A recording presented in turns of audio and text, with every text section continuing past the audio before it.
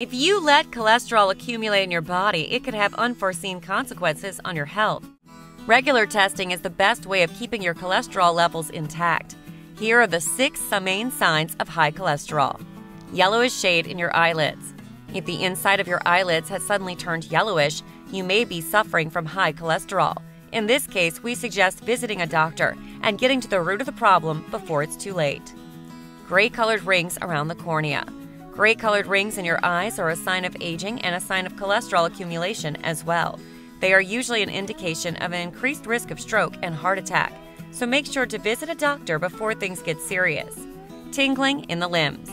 Your arms and legs are often tingling. You need to check your cholesterol levels. When your blood vessels are blocked by cholesterol, the peripheral nerve doesn't get the proper level of oxygen they require, resulting in the tingling. Pain in the back of the head and neck. Once cholesterol blocks your arteries, it will obstruct your circulation as well.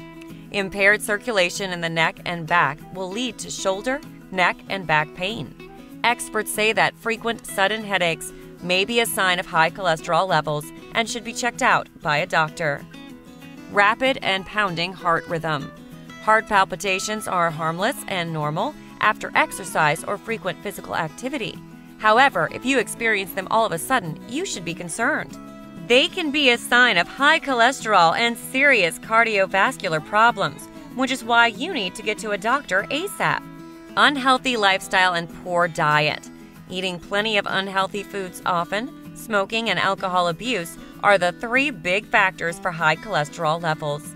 Cholesterol also depends on our genes. About 1 in 500 people are genetically predisposed to high cholesterol and will experience it regardless of their lifestyle.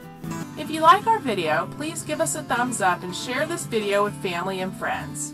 Also, subscribe to our channel for more health remedies and tips. Thank you.